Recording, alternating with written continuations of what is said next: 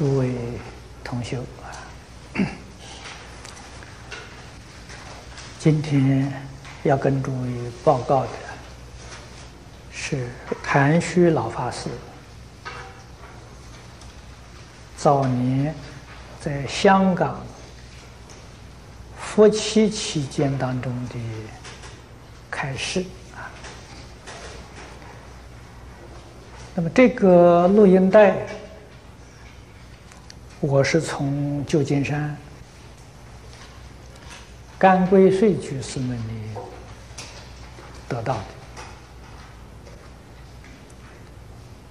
得到这个袋子，感到非常的稀有，因为老法师在香港圆寂已经有二十多年。那么由此可知，这这个袋子流传的时间很长，辗转拷贝，这个音质已经差了很多了，啊，不容易听得清楚。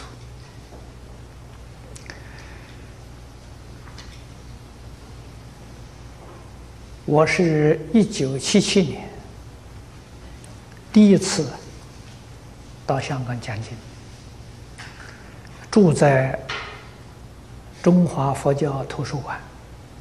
这个图书馆呢，就是谭老创办的。啊，我去的时候，老法师已经过去很多年了，所以没有缘呢见到他。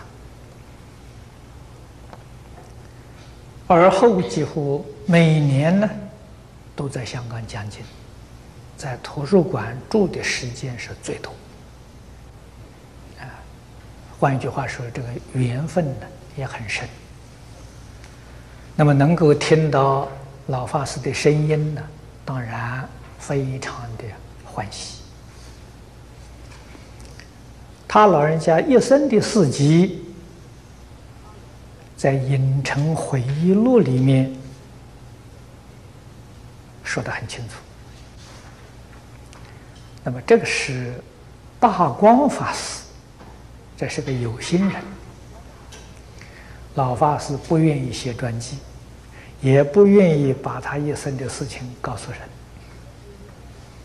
而是大光这几个人呢，没有事情就找老和尚聊天，向老和尚讲从前的一些故事。用讲故事这个方式啊，哎，把他一生这个经历啊说出来，大光就把它记下来了。那么，《影城回忆录》就是 谭老法师的传记。我们在这个传记里面看到他老人家一生的经历。他是中年学佛的，四十多岁才出家的，啊，出家那个过程呢，也相当的艰苦。那么在没出家之前，他跟几个朋友啊，开了个药铺，那就是中药铺。当中啊，有一个朋友是学佛的，他受他的影响很深，而且这个朋友是专读《楞严经》的，啊，这个《影城回忆录》里有一段呢，八载寒窗读楞严，这个八年时间在一部经上下功夫。这个很如法啊，它里面记载着这句出了感应的事情。所以有一天中午，他们都在这个药铺啊，中午啊，生意很冷静的时候，没有什么人来的时候，就趴在这个案子上啊打瞌睡。那么这个朋友他就做了个梦，啊，中午睡午觉的时候打瞌睡，他就看到两个人来了，啊，这两个人抬头一看呢，是他的冤家债主，啊，是从前因为财务纠纷，这两个人欠他的钱，啊，打官司，他打赢了，逼他还债，结果这两个人呢，上吊自杀了。以后他非常后悔，啊，对这个事情感觉到很歉疚，很后悔。他现在看这两个人来了，才知道这两个鬼魂来了，那么心里就有恐惧啊，是不是找麻烦的？好像看他那个样子呢，很和善，啊，不像是找麻烦的样子。走到面前呢。就给他跪下来，啊，他心里比较安了啊，不不是来来找麻烦，就问他：你们来干什么？那两个人说：我们来求你超度啊，他那个心就放心了，求超度。他说好，我答应你。他怎么个超度法呢？只要你答应就可以了。他说那行，我我答应你。就看到这个鬼魂呢，踩到他的膝盖，踩到他的肩膀啊，升天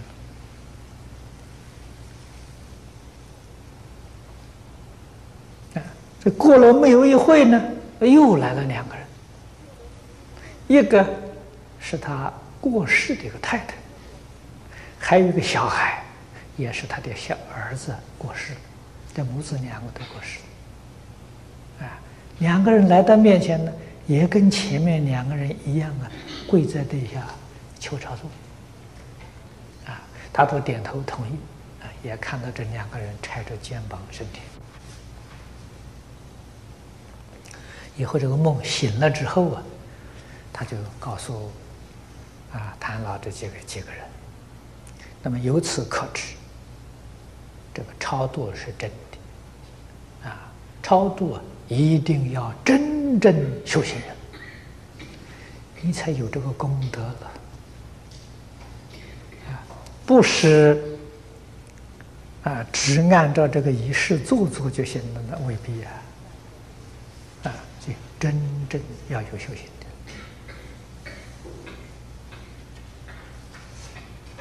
那么这就说明八载寒窗多楞严的这个功德。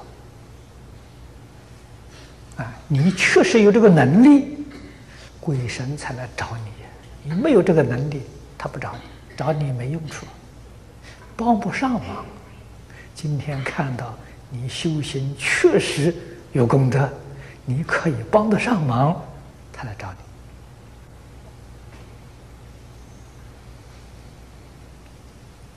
那么像这种情形，很多学佛的同学都有，但是。没有这么说事啊！我们常常做梦，梦到家亲眷属已经过去的人，啊，梦到是这个他有求于你，啊，这个是《地藏经》上说的很明白，他来求你，求你帮助他。我们没有像谭老朋友那么样的功夫。但是，我们可以念经，可以念佛，把这个功德回向给他。啊，他所得到的利益，也不是踩着肩膀升天，不是那个利益，但是对他多少都会有帮助。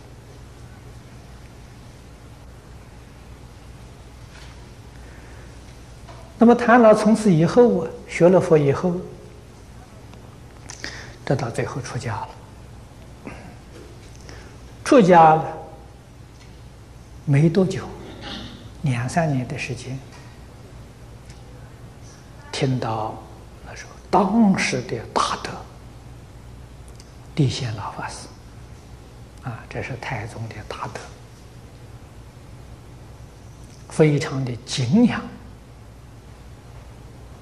就到这个这个这个天台啊去参学。啊，那么地老法师见了他呢，也很欢喜啊，认为他根性呢很利，啊，很难得的一个好学生，就收了他。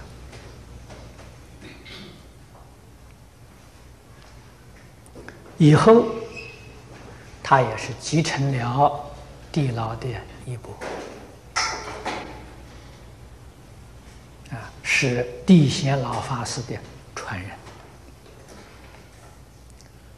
地老曾经跟他说：“他说你的法源呢在东北，学成之后劝他回去，回到北方去。”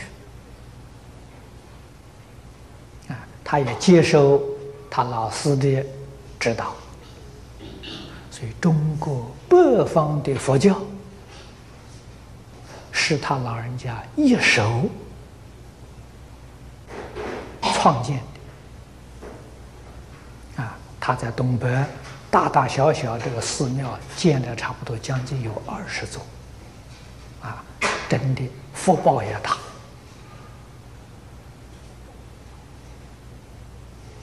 啊，真是我们不敢讲有证的，确实是有修有学的大善之士。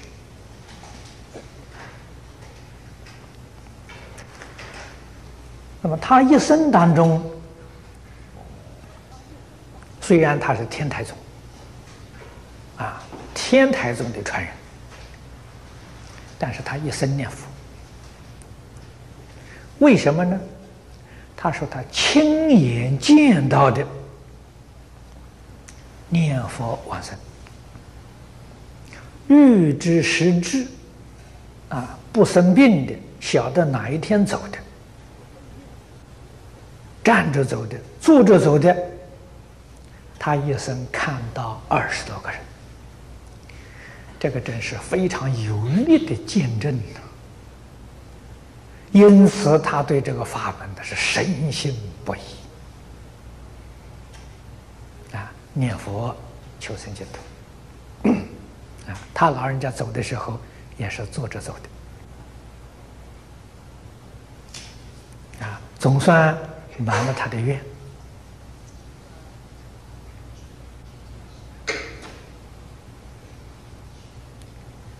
那么这个夫妻期期间当中，一开端呢，这是先介，等于说是介绍啊佛学的修学纲要。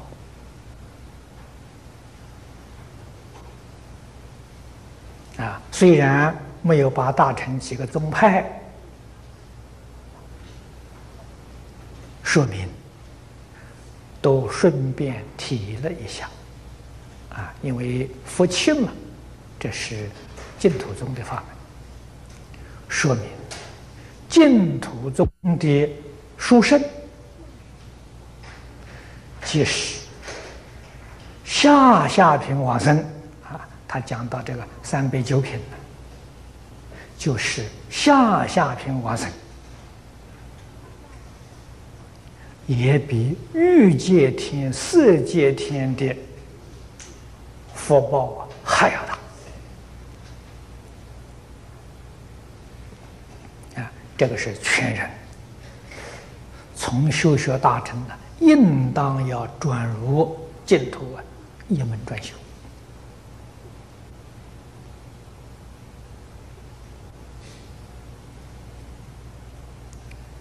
然后，在第二次的讲演，他这一个袋子里头是好多天的，啊，第一段呢是第二天讲的，第二段呢是第四天讲的，可见的他不是天天讲，啊，他是隔一天讲一次。老法师年龄很大，那么第二天一开端有几句话很重要。他说：“佛气，头两天呢，大家的心呢还很散乱，还没有收起来呀。啊，换句功夫还不得力啊。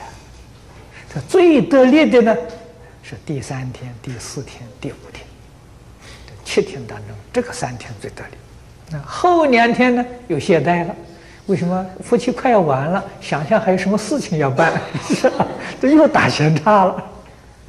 他说功夫真正得力是当中的三天，这个很有道理。啊，然后就举这个例子，啊，因为香港那边呢，学禅的人很多，啊，风气也很深，啊，念佛这个法门呢。没有呃禅那么样的深啊，他老人家就举出地贤老法师 常常讲的地老法师在外面讲经说法，常常举他两个学生呢这个榜样来劝勉大众。那么第一个呢，是学禅的这个徒弟，啊，这都是早年的徒弟了，现在都不在了。这个徒弟，用现在话来讲呢，他是知识分子，啊，读过书的，没有出家之前，他结过婚，而且还有个。小女儿学佛之后啊，对佛法非常的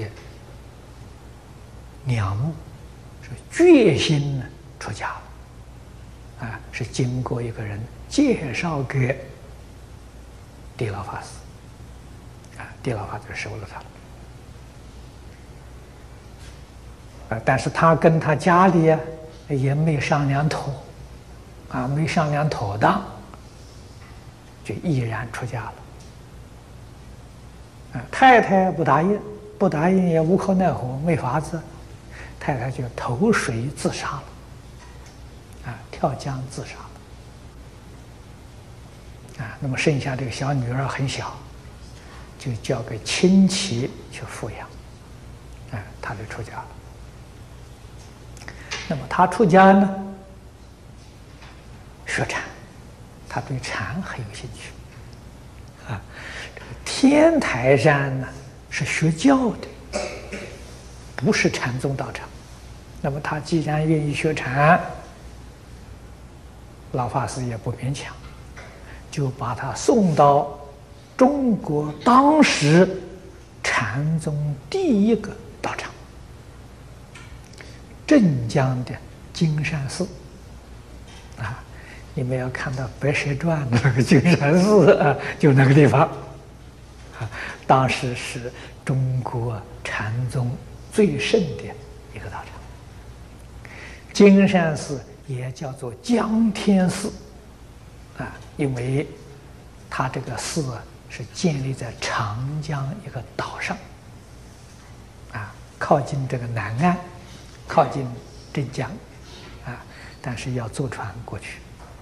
一个小岛，寺庙建在那里，啊，所以叫江天寺，啊，那么这个寺庙年代很久，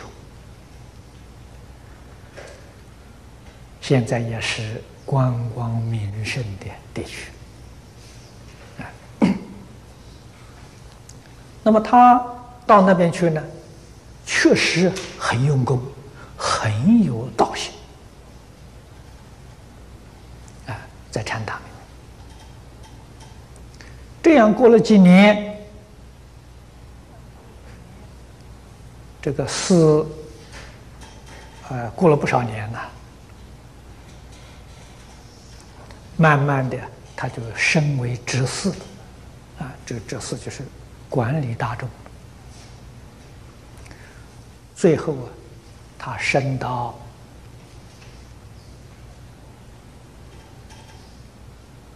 首座和尚。啊，这个寺庙啊，寺院等于是个学校一样。住持就好像是校长，首座相当于教务主任，啊，维诺呢是训导主任，监院呢我们常讲当家司啊是总务主任，啊，所以他这个分配这个职事叫三大纲领之事。跟学校是一样的，只是名称不相同，他们的职务相同。啊，那么做到教务主任，那这个地位非常高，啊，地位是仅次于和尚。这个时候，皈依的信徒也多了，供养也多了，啊，这一多了之后啊。这个功高我慢的念头起来了，自己以为很了不起了。这个念头一起来了，道心就失掉了。啊，道心是什么？清净心、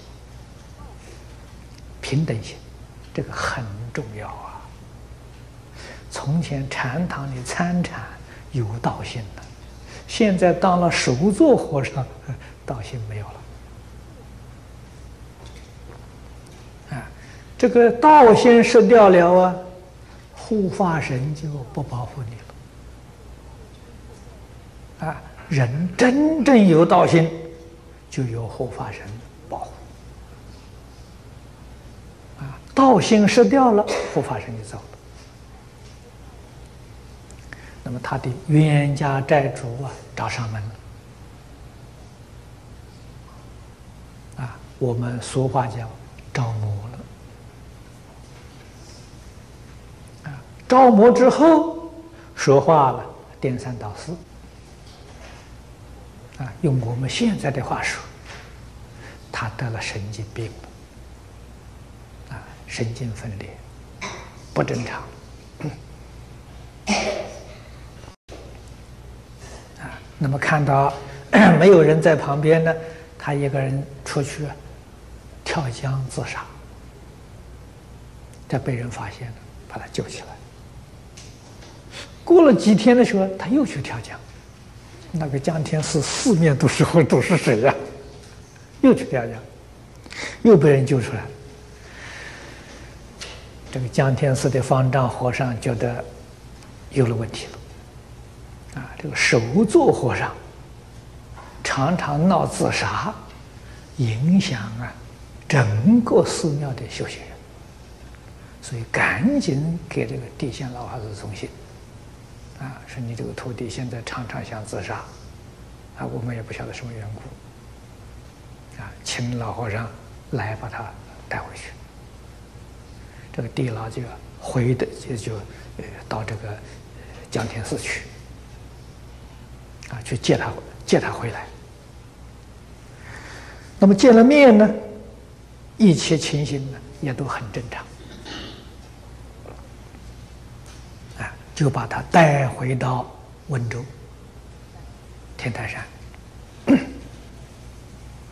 他们坐从水路，啊，这个水路是通的，从长江远海坐船的，一直可以到温州。那么一路上啊，都非常正常，啊，他们坐的是轮船呢。轮船是上下铺，老和尚睡下面，他年轻嘛，动作比较凌厉嘛，就叫他这个徒弟睡上铺，一路上平安无事，也也没有出什么问题，但至少老和尚有道行，保护他了，啊，我也不敢作祟了。那么回到天台。寺院里面也讲求啊身份地位，啊，他曾经做过这个大寺院的首座和尚，这很有身份，在寺在佛门里的也相当有地位，所以特别给他一个房间，啊，通常一般是住广单的，睡通铺的，啊，单独一个人一个房间，这是是是是特别有礼遇的，啊，他对于佛教很有贡献的，所以给他一个房间。那么早晚上殿呢？呃，随他意，他愿意去就去，他不愿意去不去。啊，有一天早晨吃早饭的时候，啊，上殿他不去无所谓了。啊，怎么吃早饭的时候也没来？未免这个睡懒觉睡得太久了，太过分了。这老和尚就叫。庙里面的茶坊啊，去喊他去，去敲他门，去敲门呢，也没有人答应，啊，这就把门呢，把它打开了。打开之后啊，房间里没有人，啊，他这个房间有个窗户，这个窗户啊开的，窗户打开了，人可以从窗户跳出去。这茶房赶紧回来报告老法师。地老法师一听啊，哎，不好了，恐怕又去跳水去了。他那个道场啊，虽然外头没有江啊，还有个小河，那个河里头也可以走小帆船，啊，可以淹死人的。他说过去他曾经有两次记录啊，是不是又跑去跳水去了？赶紧找人呢，分头去找。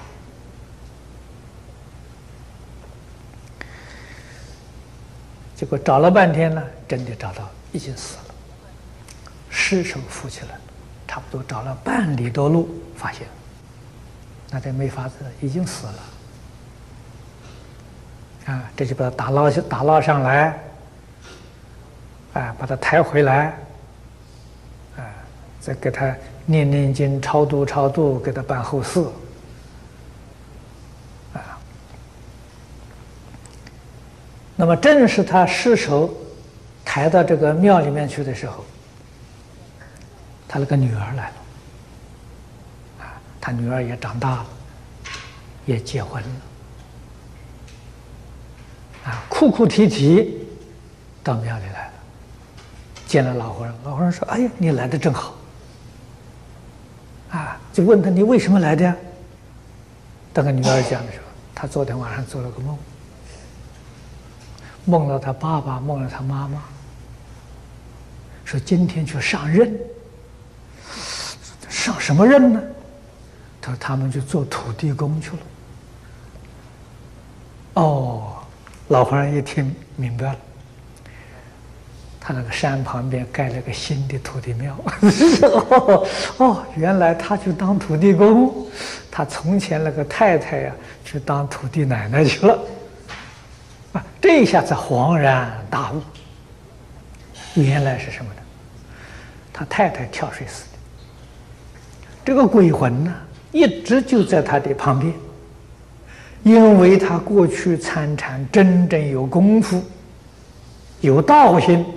有护法神，他这个鬼魂没有办法贴到他身上。到他道心失掉了，啊，贪图享受、功高我慢这个念头也起来了，护法神离开了，这个鬼魂附到他身上，所以实际上常常闹跳水呀，不是他自己，他是被鬼迷了。太太还是把他抓去了，这就说明参禅参了几十年，最后的结果是落个土地公，啊，还被他太太抓去了，啊，太太就抓去当土地婆去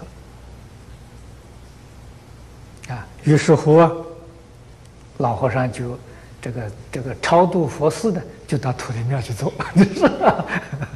在土地庙给他做，给他念经，给他超度。老和尚也很有趣，他说：“你既然做了土地公了，啊，我们给你念经超度啊，你也得显显灵给我们看看吧。”啊，说了这个话的时候也很奇怪。他们念经的那个桌子前面呢，就有一个小的旋风，啊，就像龙卷风一样，很小，啊，就在那个那个那个念经那个台面前转，转了很久，啊，老和尚点点头，嗯，我知道了，啊，那么这是说参禅的人。啊为什么会着魔呢？我们正好这个《楞严经》清净明慧章啊讲过去了，大家心里都会明了。清净心失掉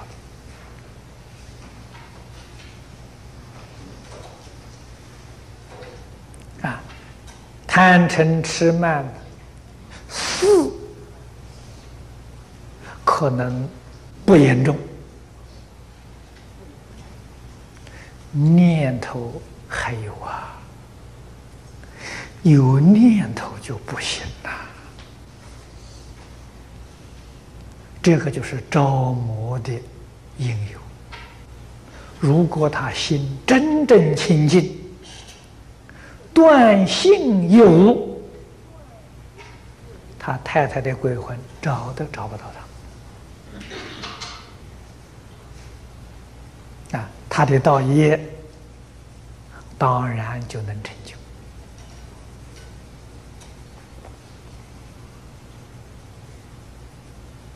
啊！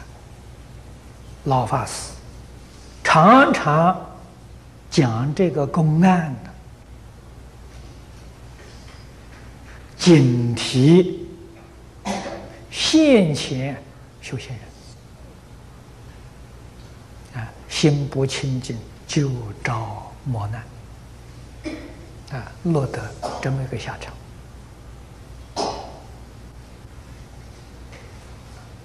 啊，一生的修行换了一个土地公，啊，然后啊，又设一个念佛的徒弟，这个念佛的徒弟啊，还早，比这个徒弟还要早。是老法师还没有成名的时候，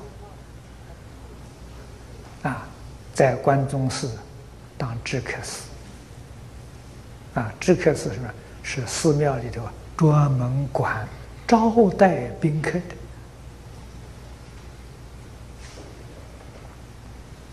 的，啊，做这么一个职务，啊，老老和尚年岁大概只有四十几岁的样子，哎，不太大。那么他这个朋友呢，是从小的玩伴，他们都是出生在乡下，是一个村庄里面，啊，小时候就在一块玩耍，这个交情很深厚了。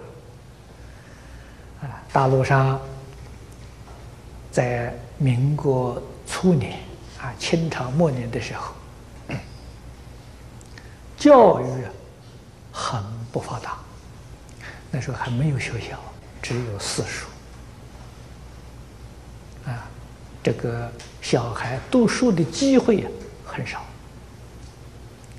有家境好的才能够读几年书。啊，地仙老法师呢，家境还算不错，啊，所以念了几年书，以后。他舅舅做生意，跟他舅舅学做生意，啊，跑过不少地方，啊，在以后再出家的，所以有一些这个学术的基础。那么他这个朋友呢，家境很清寒，没有念过书，啊，不认识字，长大之后啊。学了个手艺，靠这个手艺维持生活，啊，什么手艺呢？老和尚给我们讲的叫锅炉匠，啊这个锅炉匠啊，恐怕你们都不知道，啊，他说的说我知道，啊我还记得，因为我也是出生在乡下，啊，村庄里面，锅炉匠就是补锅补碗的，啊，这是我亲眼见到的，啊，从前家里用的锅碗打破了。啊，舍不得丢啊，想办法把它补起来。啊，这个补锅补碗的是挑一个担子，斗生意，大概一个月会到这边来走一次。啊，你有锅碗打破的时候啊，遇到的时候他会给你补。哎，这个现在没有了，现在哪里还会用破锅破碗？没有这个道理啊。早就丢掉了，是啊，所以那个时候的生活多么的艰难，所以他这个工作很辛苦，啊，很辛苦，深深体会到人生的痛苦，啊，所以他就找他这个老朋友，听说老朋友做了和尚，就找他，就被他找到了。找到之后啊，他就跟地仙法师说：“他说我要出家。”地仙法师说：“他你不要找我麻烦，你在我庙里住几天呢？啊，你还是出去做你的生意去。”啊，结果他非常坚决，一定要出家。老法师就说了：“他说你一定要出家，你的年岁已经大了。大陆上在那个时候四十多岁呀，就几几乎就是。”进入老年了，啊，五十岁就成老人了，哎，五十岁的人出去都拄个拐杖了，成老人了。他说：“你又不认识字，啊，要学经教，不认识字，你没有法子学。啊，那么出家呢，不学经教啊。”要学唱念呢，这个五堂功课、佛寺的唱念呢，你年岁大了，你也学不会了，看这个笨头笨脑的，啊，所以呀，就劝他，你呀还是去做生意好，结果他那个朋友说，他太苦了，他非出家不可，这个被他逼着没办法了，地了被他逼着了，说那这样子。你既然真的要出家，那你要依我的条件。啊啊，他那个朋友说：“那行，我既然认你做师傅了，你说什么我都接受，我都听。”啊，那么这样谈妥条件了，这个地牢啊，就给他剃头。啊，这出家之后，他说：“你也不要去受戒。啊，大陆上受戒，戒期是五十三天呢，非常辛苦。啊，年岁大的人吃不消啊。啊，戒戒这个戒坛里面许许多多东西要学习，你学不会呀，那天天挨骂挨打了。啊，甚至于被开除、被赶出去了。”这算了，你不要去，不要去受戒。你也不要住在庙里，啊，住在庙里面，你什么都不会，人家看到你冷眼看你，那个日子也很难过啊，什么都不会呀，啊，那怎么办呢？他说：“宁波乡下了，小庙很多。”有很多小庙没人住的，我就给你找一个庙，没人住的，你一个人去住。啊，因为他是关中寺的知客司嘛，啊，这个知客司是呃，对于这个在家信徒啊，常常联系啊，所以他的熟人就很多了，啊，他认识的人很多。那么就近呢，找几个护法。每个月呢，给你送一点钱，送一点米，啊，就是你生活可以过得去。那么又在这个破庙附近呢，找到一个学佛的老太太，请这个老太太照顾你，给你烧两餐饭，哎，给你烧两餐饭，就是早饭呢你自己去做去，啊，中饭晚饭呢，那老太太来帮你做。他说：“我教你一句啊南无阿弥陀佛。”啊他说：“你呀，就念这六个字。念累了啊，你就歇会儿，你就休息。休息好了，你就再念。啊，就这一句佛号，一直念下去，准有好处。究竟有什么好处呢？他也没问，老和尚也没说，是就就告诉他，你这一句佛号念下来，一定有好处。”那么这样大概念了有三年，啊，念了有三四年，他也真听话，啊，这个三四年在这个小庙里头啊，从来都不出门，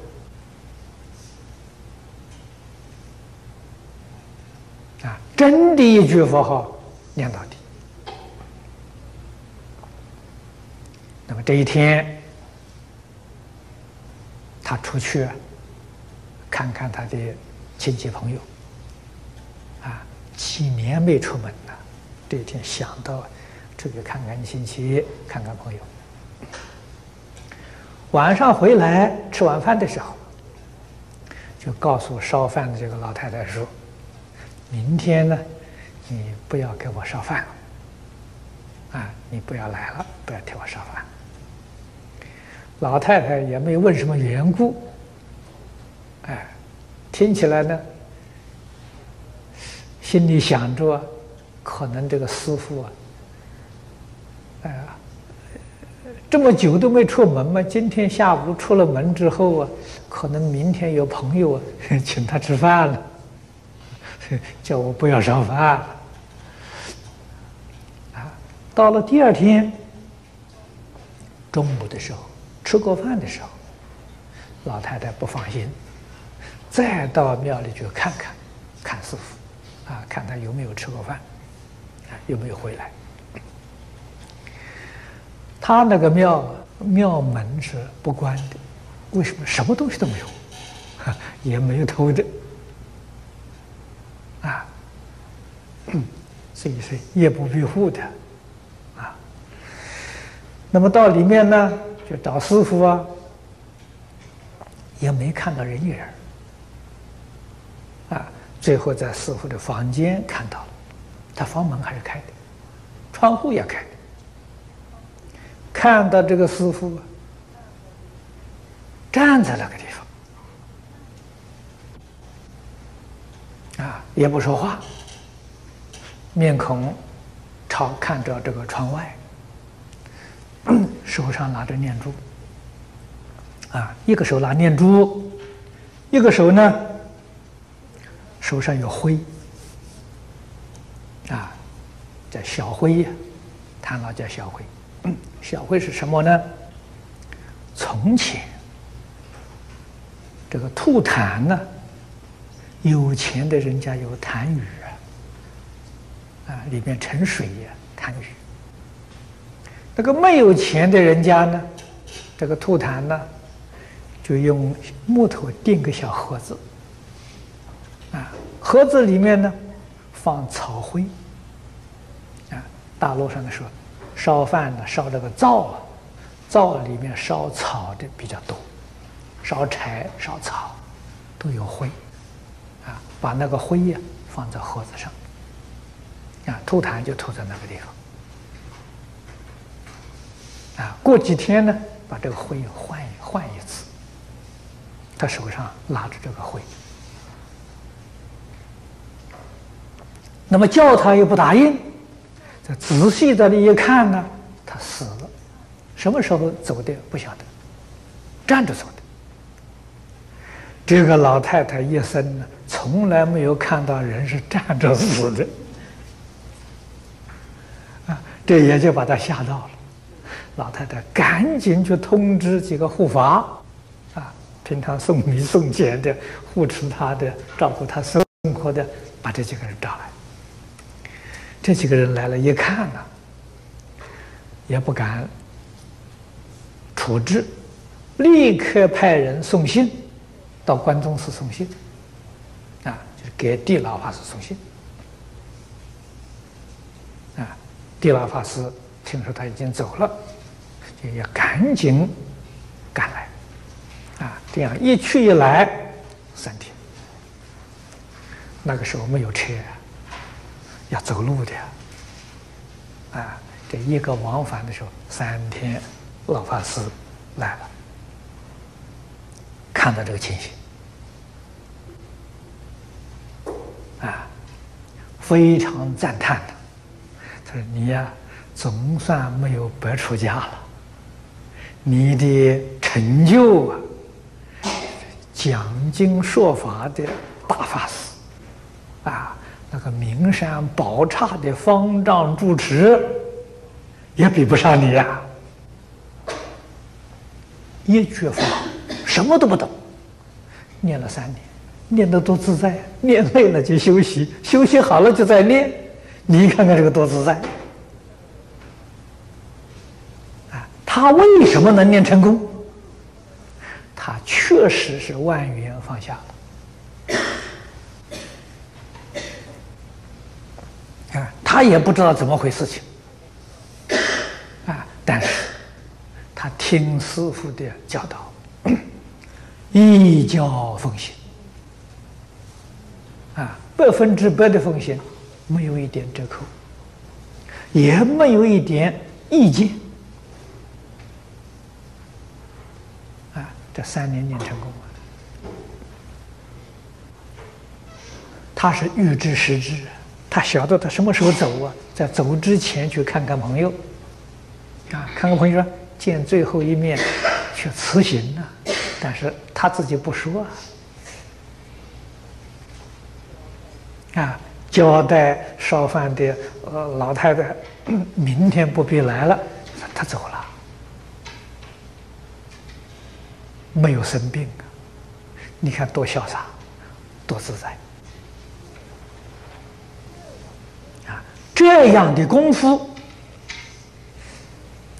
一定是念到一心不乱啊！一心不乱时，定慧都具足了。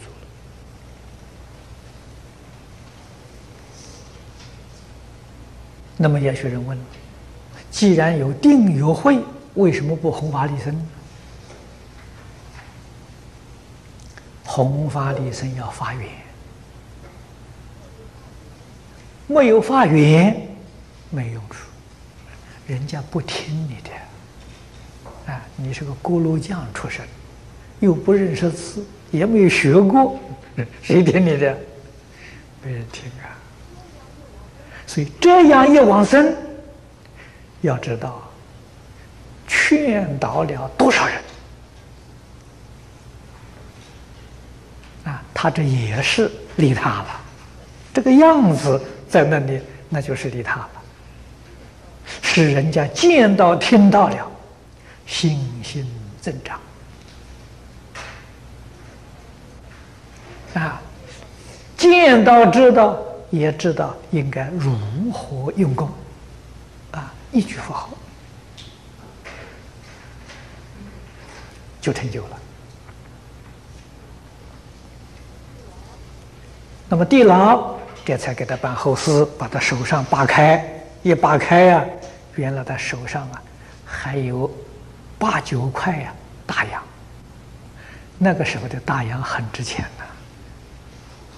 地老一想，可能是他从前做生意急需的这一点钱。那么平常呢？他就把它放在吐痰的那个、那个、那、那个、那个、那个灰底下，人家也不知道嘛，啊，哪里会到那里去翻东西嘛？那么现在他要走了，谁也不知道他有钱，啊，所以他拿在手上，啊，这个意思，大家也就会很明白了，拿这个钱替他做后事，替他发送后事，他连后事。也不找人麻烦，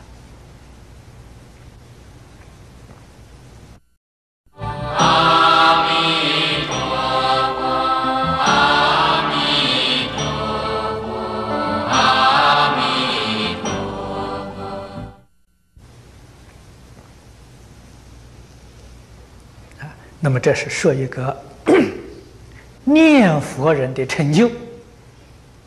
啊，这个成就给诸位说，往生的品位绝对不在中下，决定是上三品往生的，不在中下了。往往是一个人家瞧不起的人，才真有成就。啊，人家恭敬供养的人，反而不能成就。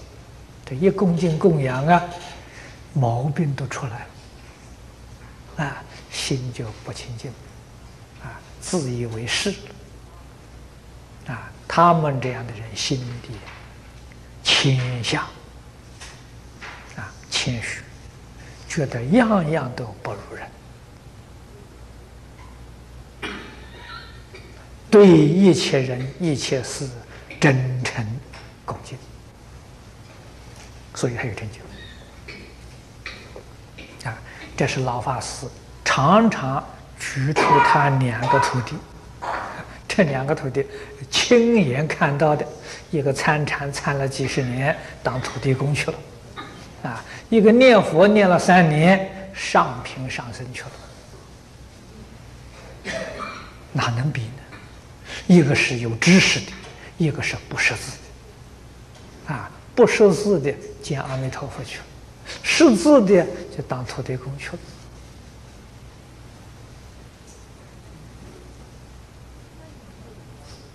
正应了我们中国古人所说。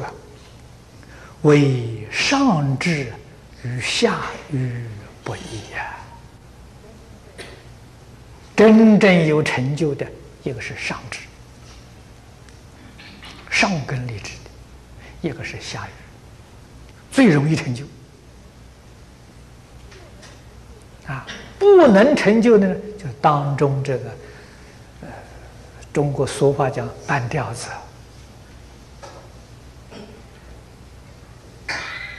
啊，你说他不行啊，他很行；说他真行，他又不行。啊，这种人是最难度的，这种人是占大多数。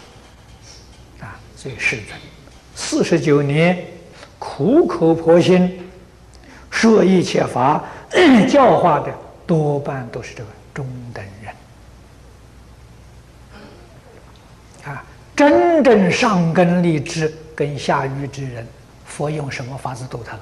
念佛法门。上根立志，一告诉他这个法门，他马上接受，他不怀疑，他就一直念到底。这根性最利呀！哎，这个下愚之人呢，劝他念宇宙阿弥陀佛，他死心塌地念，他什么也不问，哎，也不要不懂这道理，哎，你叫我念，我就念。啊，念到成就了，那个果实就现前。啊，所以这两种人是这个佛门常讲啊，根熟众生，啊，根性机缘成熟了。那么这个是老和尚第二天讲的，后面一段呢？那也是很早的一回事情，出生往生。啊，这个事情更早，是地老法师还没有成名，在一个小庙里头啊当主持。啊，这个小庙是叫头陀寺，也在温州。啊，是个小庙，现在好像这个庙还在。大概总是因为，呃，地贤老法师曾经在这做过住持啊，啊，以后老法师成名了，所以这个小庙也沾光了，啊。那么他在头陀寺 做住持的时候，庙小，人也不多，也很穷。这个寺庙里头啊，连个钟表都没有，啊。作息时间怎么办呢？看太阳。啊，早晨起来的时候啊，寺庙里养了个大公鸡。啊，早晨鸡一叫了，这就打扮，就起床，啊，做早课，叫鸡报晓。啊，这个公鸡呀，是庙里养的。庙里出家人做早晚课，这个公鸡也来参加。啊，早晚课念阿弥陀佛，他说这个公鸡也在那里跟着后面。呃，走，他也在叫，叫嘎咕嘎咕也叫。他大概他也是他念他的念佛，我们也听不懂。啊，中午吃饭呢，虽然庙小啊，还是过堂吃饭。啊，那么这个公鸡啊，他也来参加，也到这个斋堂来。哎，凡是大众吃的这个菜呀饭呢，掉在地上的。他都会把它吃得干干净净的。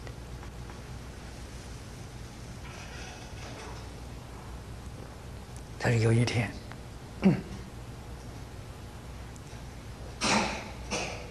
扩送完了以后，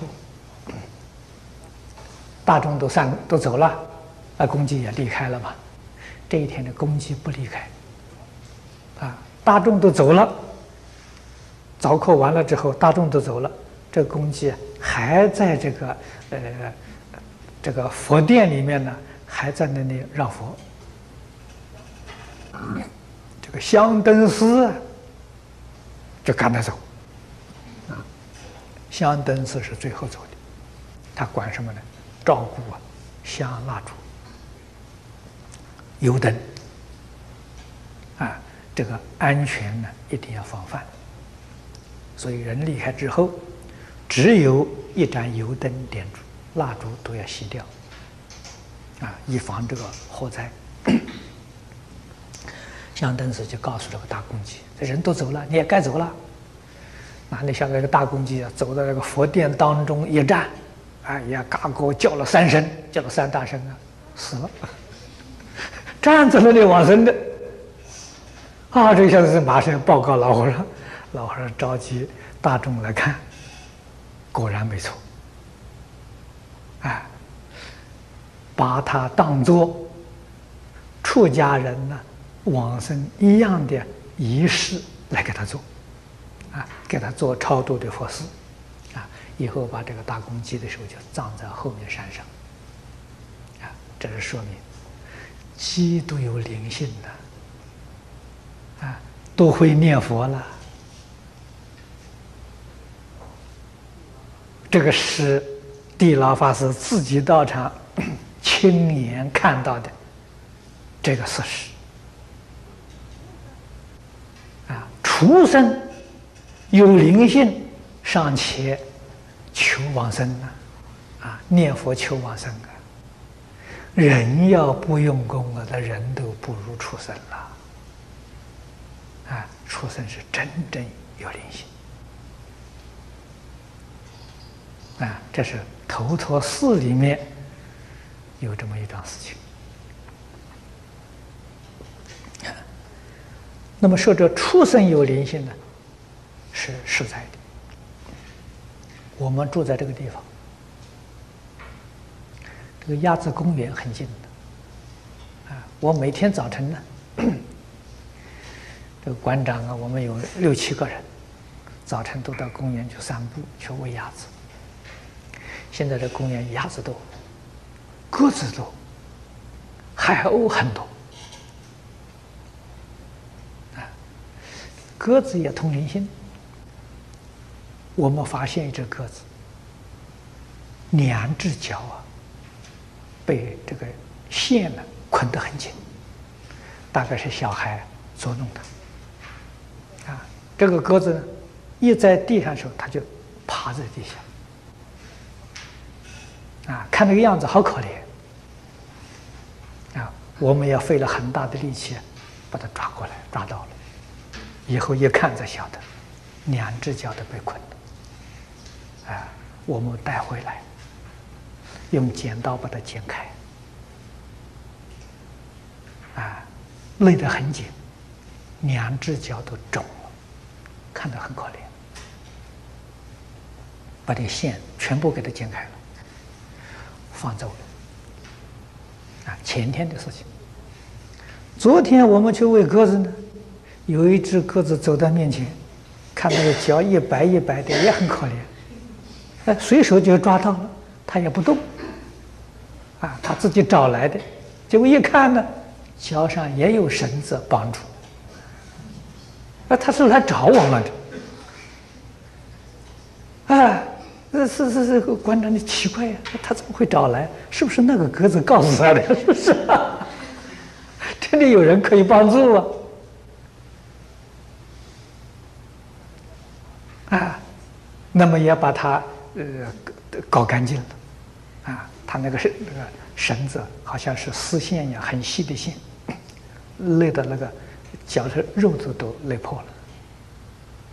啊，都把它清除，搞干净了。以后又有一只。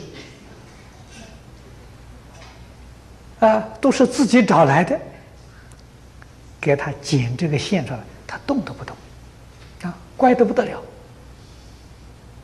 啊，所以这小动物有灵性的，他们彼此互相当中也有语言，也有沟通啊。这几个人大概不是坏人了，可以帮助我们的，有麻烦来找他们了，啊，所以有灵性，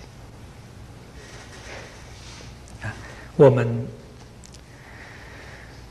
在从前书籍里头记载的许许多多的动物，啊，念佛往生的，地仙老法老法师头陀记这个功绩是他亲眼所见到的，出生念佛往生，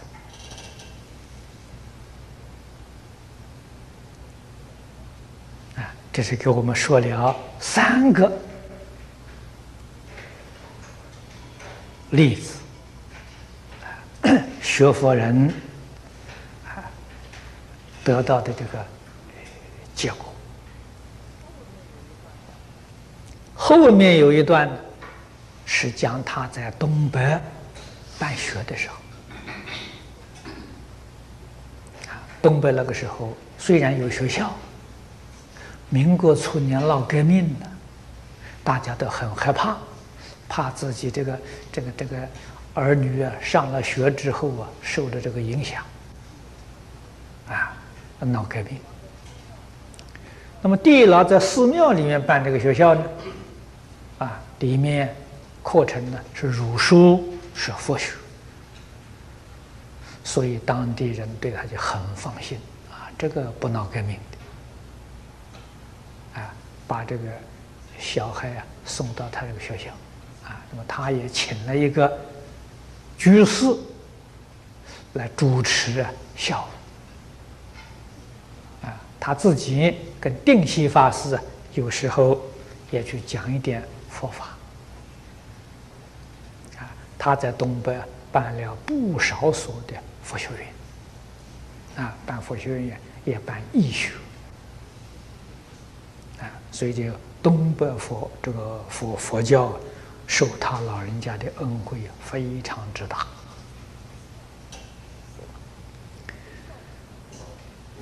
那么这个校长呢，啊，名字我忘掉了，那那录音带上有。啊，有一天呢，也是看了些佛书啊，向老和尚提了个问题，啊，老和尚常常劝人念佛了，他说他看到这个书上有讲的。唯心净土啊，自信弥陀啊。他说：“既然是唯心净土、自信弥陀，那我们何必要求生西方极乐世界呢？” 提出这么一个问题，老和尚听了以后啊，就跟他说：“他说你呀，提的这个这个是很有道理啊，你问你问的很有道理啊。”那老和尚就又问他说了：“他说这个自信弥陀啊，跟西方极乐世界的弥陀，啊，从哪从哪里分界线呢？唯心净土跟西方净土，那边界在哪里呢？啊，地老法师这样一反问，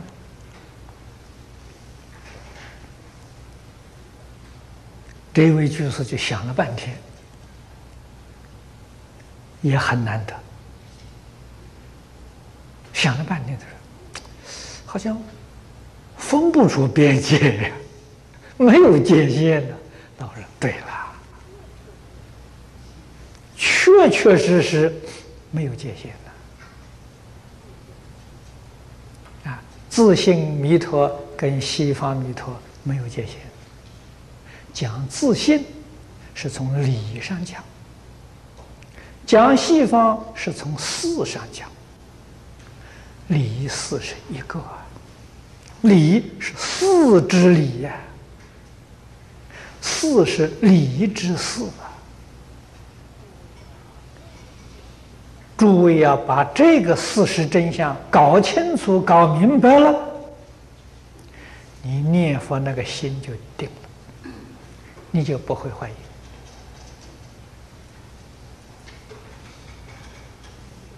啊！所以古人提出来呀：“生则决定生，去则。”十不取啊，十不取是从理上说的，决定生是从事上说啊。那么佛号要不要念？要念呐。你要是知理非思，换一句话说，你还比不上地老法师念佛三年那个徒弟咕噜讲。人家站着走，欲知失之，你有这个本事吗？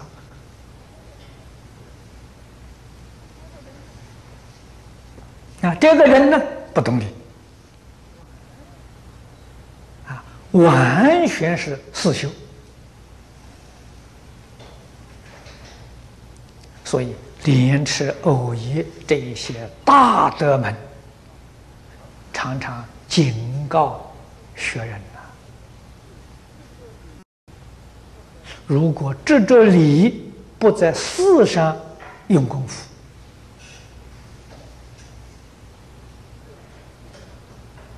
啊，这理费事啊！你的修学决定是失败的，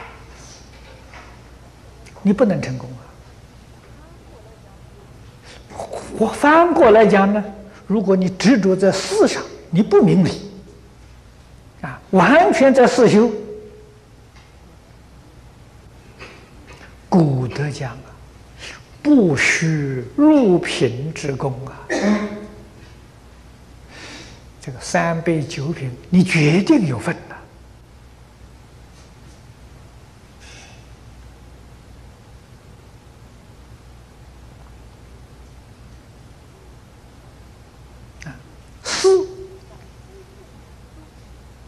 到一定程度，跟理就圆融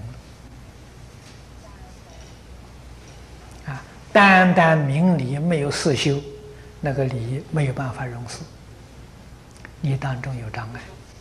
所以四到什么时候融理呢？心地清净。啊，为什么呢？清净心就是理。啊，清净心。周边法界哪有边界呢？这是我们一定要清楚，一定要明了的。地老法师这是真实的例子，这一点都不假。那我们再看贪老。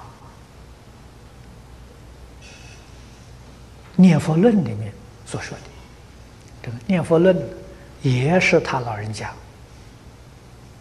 在香港讲的开示，大光法师笔记。这个对于戒淫初级非常好啊，这个小册子太好了前面。三分之二，广泛介绍佛法，啊，各种都提到。后面呢，完全讲念佛，啊，赞叹净土。幕后他老人家举了三个念佛往生的例子。这是老法师亲眼看见的。第一个修无寺，哈尔滨极乐寺，啊，这老和尚建立的。老和尚建这个道场之后，要将这个道场兴隆，所以举办一次传戒的法会。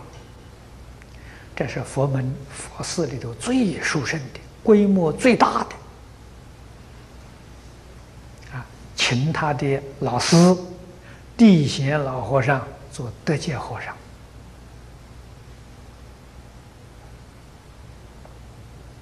来办这个大法会，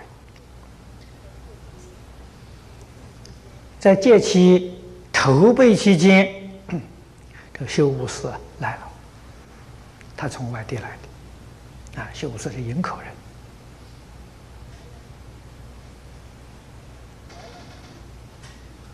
啊，来了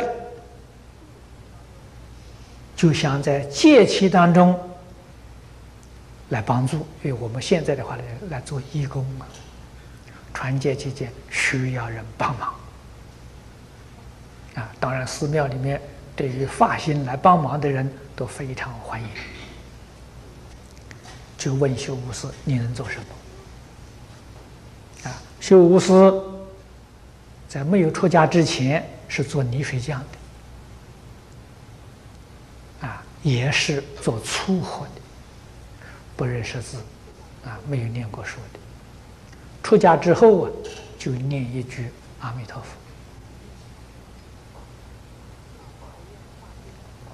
佛。啊，他发愿发心呢。在戒气当中照顾病人，这个伤风感冒，这是这个传戒气的是免不了的。他在这个，在这个讨这份工作。啊，那时候庙里住持是谭旭法师，当家师是定西法师。啊，这两位老法师以后都到香港去了，啊，也都在香港往生的。那么这工作分配了，过了不久，这个修武师 就来见老和尚，见当家师，说他要走了。啊，老和尚啊，这个谭老很有修养。啊，你是发心来帮助的，你要走。也不好意思留你了。这个定西法师呢，哎，修养比老和尚要差一点，啊，所以脸上啊，马上就摆出不高兴的样子，而且责备他，啊，既然来发心，就应当啊，戒期圆满之后啊再走，啊，戒期是五十三天。啊你不应该没有长远性。啊，中途而退。啊，这功德都没有了，哎，责备他。修武师就说：“他说我不是到别的地方去，我要往生到西方极乐世界去。”这两个老和尚一听啊，就是这这不是不是普通事情了，就问他了：“你哪一天走？”修武师说：“就是十天之内，啊，没有确定哪一天，就是十天之内。要求当家师给他准备两百斤柴火，准备火化用。哦，这是大事，这不是普通事情啊！而且在这个这个大法会当中，这样殊胜的事情很难得了，非常稀有啊。”所以这个当家师啊，就答应给他准备后事。那么到第二天呢，修武师又来了，啊，又去见老和尚当家师，告假，我今天就要走。这就是措手不及呀！啊，所以定西是赶紧替他准备。那么后面寺庙后面柴房，啊，在从前烧火灶的时候都是烧柴火，堆柴的这个房间，在那个地方啊，找出一个空房间，临时给他搭个铺，啊，给他往生。那么他还要求呢，希望能有几个人帮他助念，啊，送他往生。啊，当然，乐意去助念送他的人就很多，啊，啊这个事情很稀有啊，啊，功德非常殊胜的。那么他往生的时候，是在临时搭的这个铺里，盘腿。呃，坐着走的啊，坐在这个上面的时候，那个助念的同修啊，就要求修无师啊，他说过去这些大德往生啊，都会做几首诗啊，做几首偈子，留给后人做纪念呢。他说你老人家也给我们留个纪念吧。修无师也说老实话，他说我是个老粗出身，不认识字，我也不会做诗，也不会做偈子。啊，他说不过我有一个老实话可以告诉诸位，给诸位就算是做个纪念吧。啊，什么话呢？能说不能行，不是真智慧。最后说了这么一句。说大家念佛号送他，大概念了一刻钟，一刻钟十五分钟，他就作画，他就走，就在极乐寺戒气当中，地仙老和尚到极乐寺的时候。听到修武师往生的这个事，这桩事情非常赞叹啊，认为这才是真正出家修行的好榜样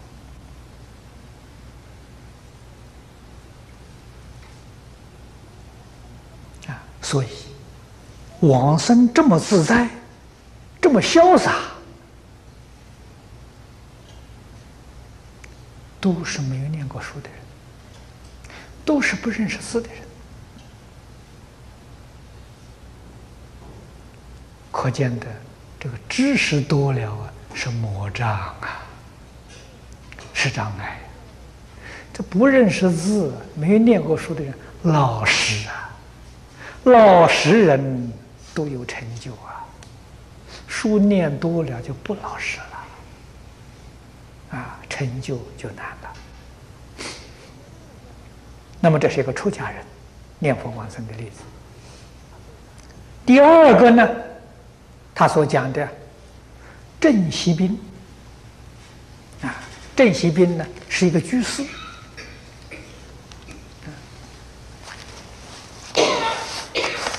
嗯，卫生纸。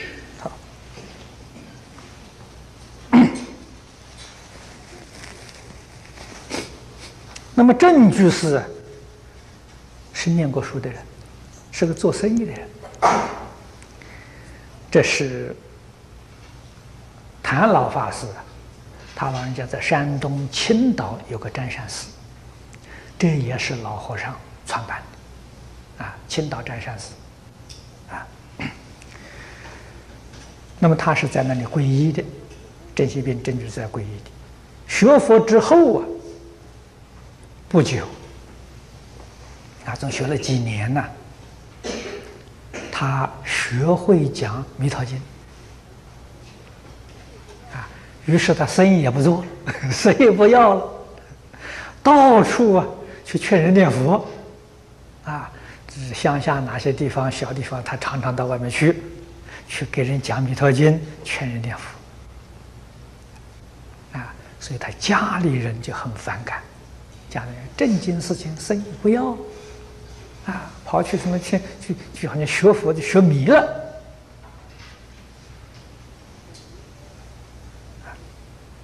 这有一天也是在外面讲经，讲完之后，他就跟几个老朋友说：“啊，他他要走了，啊，他说我要走了，麻烦你们给我租个房子。”这朋友们听了奇怪：“您要走了还租房子干什么？”他说：“我不是到别的地方去，我要往生极乐世界。”怕死在人家家里不方便，你们给我租个房子。这些朋友一听呢，他说：“你是真有本事走啊！”他说：“真的。”：“那没问题，到我家去。这个人说到我家去都不忌讳，是吧？你这真有本事往生的话，是我们都欢迎。”那么这就到他朋友家里去了。啊，朋友家的时候。临时给他打扫一个干净房间，而房间有嘛，把打把弄干净。啊，他老人家也是盘腿坐在那里。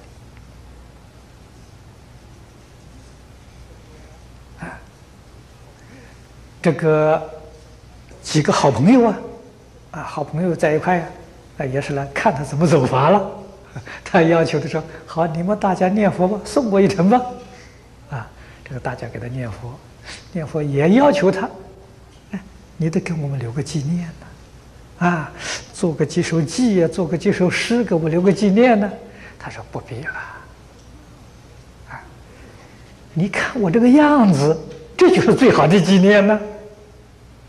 去的这么潇洒，这么自在，啊，讲罢经之后，什么事也没有。好，这大家给他念佛。也是念到不到一刻钟啊，他走了，啊，真走了。以后他这个弟弟啊来替他办后事，看到哥哥这样相信了，所以弟弟也念佛了。啊，三年之后啊，他弟弟也往生，啊，不过往生比哥哥差一点，他生病，啊，他在病中往生的，不像他哥哥，他哥哥不生病。啊。啊，这是举一个男的居士，啊，都是，这是呃，谭老法师的皈依弟子，啊，一心念佛，啊，专讲弥陀经，他其他的不会也不学，就一门，啊，能念到欲知实知，啊，没有病苦。自在往生。第三个例子举的是一个在家的女居士，啊，所以他老人家举例子很有趣味，一个出家的，一个在家男居士，一个在家女居士。这个女居士呢，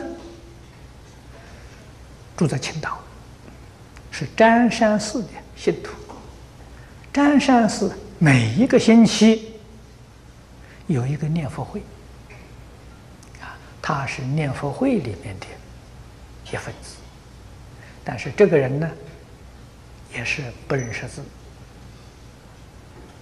家境呢很苦，他先生呢是在这个码头上啊拉黄包车的，那个时候三轮车还没有，人力车拉黄包车的。一天不做工，一天就没有生活，啊，所以日子过得很苦，啊，一家四口，他有两个小孩，小孩都很小。那么他每一个星期天，占山寺念佛会呢，他都参加。他参加了，是在厨房里面的，帮忙洗碗、洗东西。帮忙做这个工作，那么由此也可知，他是贫贱人家了，也没人瞧得起他。啊，平常谁注意到他了？啊，到寺庙里也是做苦工的。那么他那天往生的时候，他是中午走的。早晨吃早饭的时候，告诉他先生。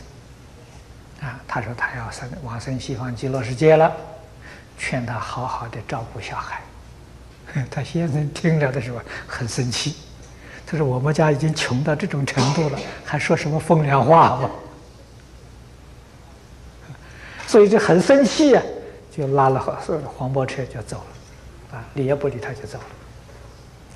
那么以后啊，他又把两个小孩叫到面前，叫小孩听他爸爸话。小孩不懂事，啊，那小孩太小了，啊，那一会就出去玩去了。那么到了中午，这个小孩啊，肚子饿了，要吃午饭了，回家去找他妈妈，啊，这是是要吃要吃饭了。回去之后啊，看他妈妈也没做饭，妈妈坐在床上啊。已经完成了，这才哭哭啼啼的告诉邻居。邻居一听说，那这早餐蛮好的嘛，早晨都见了面，怎么这个时候没有了？再到他家一看，端端正正坐在床上，啊，干干净净的，啊，换了新衣服没有啊？啊，洗得干干净净。啊再到码头上把他先生找回来，再到占山寺去报告，通知念佛会。哦，念佛会这个时候才 对于这位这个居士啊，才佩服了，啊，才知道人家天天在洗洗碗帮忙工作，那叫真修行人呐，真是身心清净。一起放下，那真修行人呢？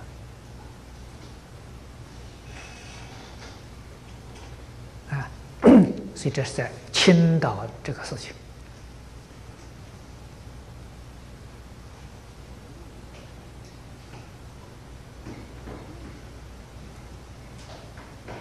这些实实在在。给我们念佛人做了最好的榜样。古德常说：“但得见弥陀，何愁不开悟？”在这个世间，给人有什么好比的？有什么好争的？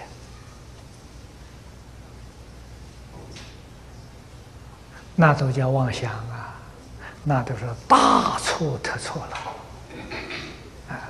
我们看着，凡是真有成就的人，确确实实是与人无争，与世无求，啊！他只求西方极乐世界，啊！你们要怀疑那是假的，他不怀疑，啊！他不怀疑，他真走了。你怀疑西方极乐世界跟你没分了，你还是要搞六道轮回呀？这个期间得失利害天壤之别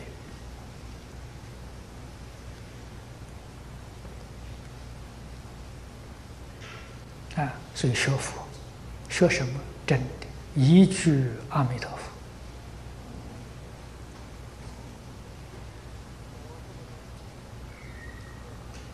佛。我这么多年的体验，也常常勉励大家：真正上根上智，就是一句佛，那叫真智慧呀，没有闲差的，没有夹杂的。啊，如果觉得这一句佛号还不行，还得加一点，那就净土三经五经。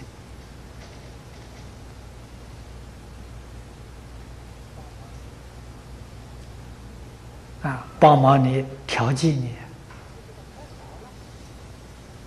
啊，如果觉得还少了，还少了，还有净土设药。啊，你说还再少了，还要多一点，还要多一点，恐怕往生未必可靠了。那这是真的。啊，为什么多了杂了？决定有障碍。啊，所以这个法门，三根普被，立顿全收。它的精彩的地方就是专精。这一句阿弥陀佛，谁不会念的？谁不能念的？就个个成就啊，不可思议的成就啊！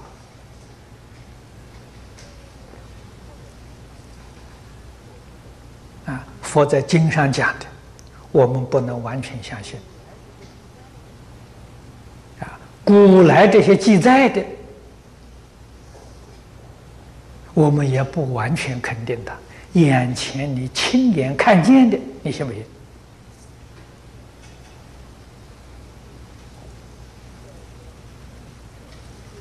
啊！再要说的是，你说的这些民国最初年的。谭老法师看见，我没看见的，那这就没有法术。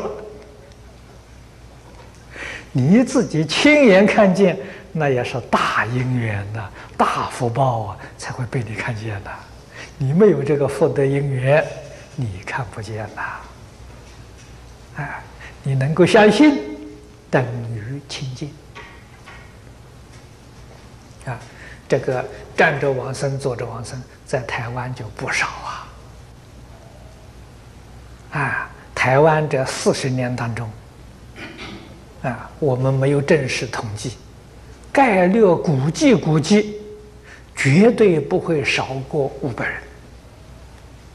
这么一个小岛，有这么多人念佛、欲知实知、自在往生的，真正不可思议。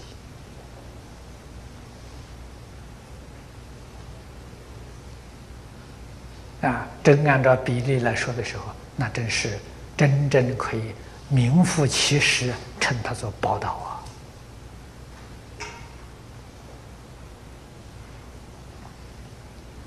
啊！啊，所以事、事实、理论、方法都明白了，都清楚了，没有疑惑了，这个时候。下定决心求生净土！一句弥陀，老实念，没有不成就的啊！他们这些人能这么样自在走，我为什么做不到？这个要认真去反省啊！世界所有一切，通通是假的。不但是假的，通通都是障碍你往生的。